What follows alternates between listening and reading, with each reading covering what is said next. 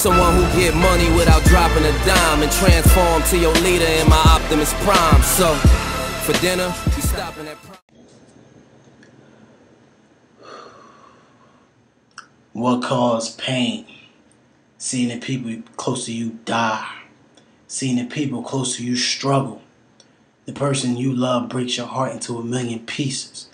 All these are elements of pain. Emotions take over. You don't know how to feel.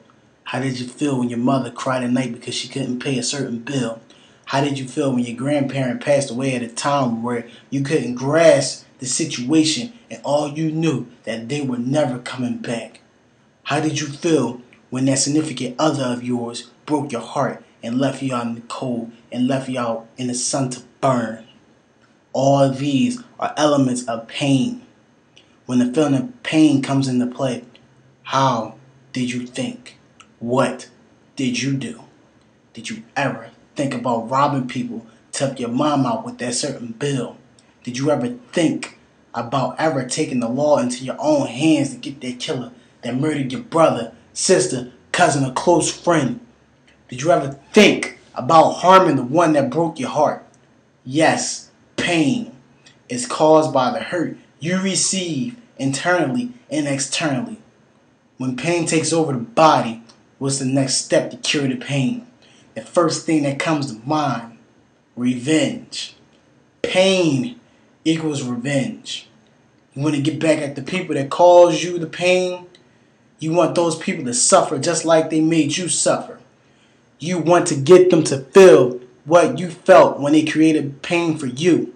But wait, stop before you sit there and create a plan to cause pain to someone else. Remember this saying Vengeance is mine, saith the Lord. It was written in the Bible. Let the Lord handle the people that cause you pain. Let the Lord create a plan to take care of the evildoers who have done evil to you. Let the Lord be the light in your life because revenge is not the answer. These spoken words are dedicated to everyone who lost someone, struggled to survive in life, and got their heart broken. I've been there plenty of times. I lost people to the street, every type of violence you could think of. I have been in a position where I had to give my last dollar to keep the power on. I've been there when I lost someone close to me and not knowing the purpose why. I had my heart broken plenty of times. Yes, I have suffered so much pain in my life, but I'm still standing, never giving up on life, still fighting, never letting revenge get the best of me.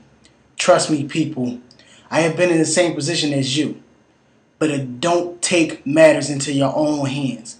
Let the Lord deal with it. It doesn't matter if you believe in God, Allah, or Buddha. Let your higher power handle all types of vengeance. They are also there to heal your pain. So if you're watching this, please make the right decision and not the wrong decision. By you making the wrong decision, you will cause a chain of pain to others that didn't harm you. Remember, Always remember, revenge will never bring that person back you lost or that you have hurt because of the pain you have received. Think before you act. The pain won't stop. Almost like it's got a hold on me. Shackles and cuffs, I can be no more a slave. And still the pain won't stop. Like my demons got control on me. Won't take me alive. I guess someone's gonna see the crash It won't be me And it can't be me And it won't won't it be me And it won't be me